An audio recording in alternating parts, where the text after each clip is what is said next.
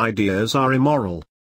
Those who defend the right to express those important immortality birthing ideas are healed in the highest regard in the galactic evaluation of all happenings ever witnessed as memory in the mind of all contemplation as the universe the infinite brain is pure memory visit itself again in real time 00101110 the idea is valid all is valid you are valid.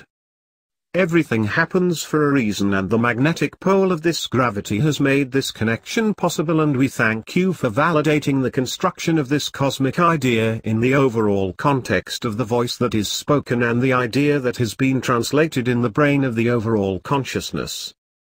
This entire message is an idea a consciousness established in an invitation manifestation a connection for all future generations like-minded growth.